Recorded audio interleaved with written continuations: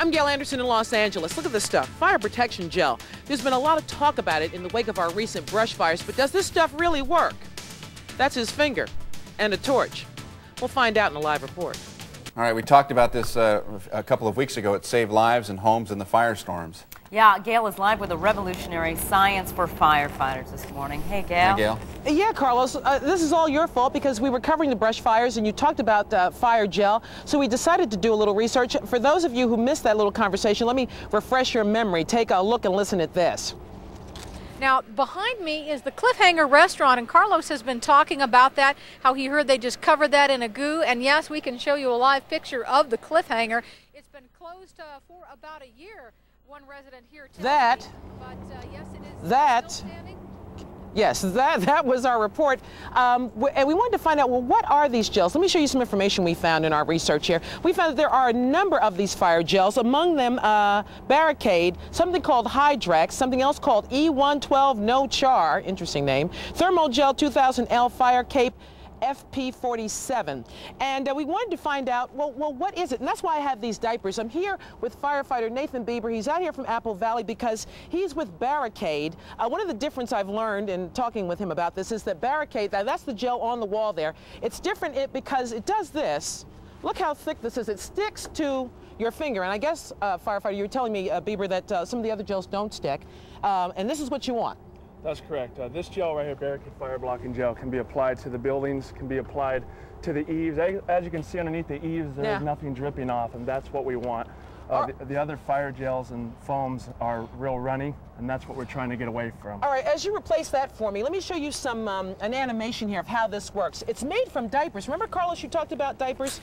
And these little, we take them one apart here. These are uh, diapers, and it's this stuff that is in the gel. That's correct. These are uh, polymers, and when they're touched by a fluid, they turn in and, and we'll show you the animation that shows how that how that works, where the polymers build up and the water hits it and it absorbs that's the water. Correct. Is that right? And creates that, a cushion. That's correct. And that's the exact same thing that's going on here with the structure with the barricade fire gel. All right. Now let me show you something else. Now they've they've done some demonstrations with this. Here's where they have uh, used the gel on a Christmas tree, and you know this time of year that can be a problem uh, because trees just go up so so rapidly. On your left is the tree that's sprayed with his product, the barricade gel. Um, on the right, the tree that's not sprayed. And any of you who've seen the stories we've done on Christmas fires and whatnot, you see how quickly that tree has gone up, but the one on the left. That's correct. And on the tree on the left, you can see where the fire goes into the tree and to the right. That's the fire creating its own weather and sucking it into the tree Just like the protected. brush fires. That's All correct. right, now let's see if this works here. Now we've seen that on the tape. You've sprayed the left side of this wall with um, water, right side with uh, the gel. I'm going to back up here. How much fire are you going to put on this? We're going to put uh, 3,500 degrees on okay. it. Okay. So he's going to... That's about two and a half times the amount of a wildfire. Two and a half times the what? Of what a wildfire creates. Okay, well... Now, we don't need to touch anything, do we? No.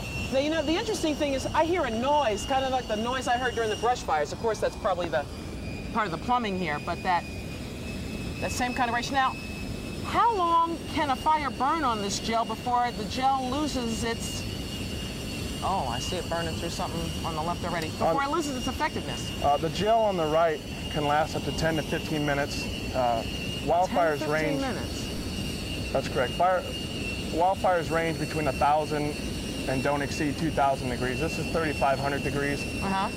And you can see on the left side that's protected only with water. It's not doing very well. On the side on the right, protected with barricade. The other thing I've learned in uh, working on this, outside of the fact that uh, you know Barricade is one of several companies that does this, is that the LA City Fire Department has had this gel on their trucks for the past five years. That's correct. How did that work out? Did they uh, see a demonstration like this and think this will work for us uh, in the department? And it's not just to protect Gayle? people, it's to protect the firefighters. Yes, Carlos. Gayle, I have a question. How, how, much would it cost to uh, cover a, a, typical mountain cabin uh, in something like this to protect your cabin?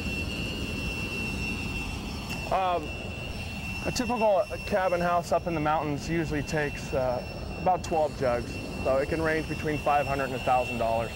Uh, usually it, yeah. wow. 10, about 10 to 15 gallons. Now, how, what about the, the, part of the problem in a, in, a, in a firestorm, of course, is the, is the spontaneous combustion that just the heat itself will blow a house up. Does that help from the, as far as the heat is concerned? Mm. Yes, this barricade fire gel is designed to stop radiant heat flame impingement, and flying Stops embers. radiant heat. Yes, Wow. and also prevents smoke damage to the house. It seals the house and prevents smoke going through the house. Very quickly, um, how do you get it off and how environmentally safe is it? Uh, it's non-toxic, it's non-corrosive, and it's biodegradable. And all you have to do is rinse it off with the garden hose when you're done. After you come back, after the homeowner is evacuated, they can come back and just rinse it off with a garden hose. Where And do you buy it and how do you apply it?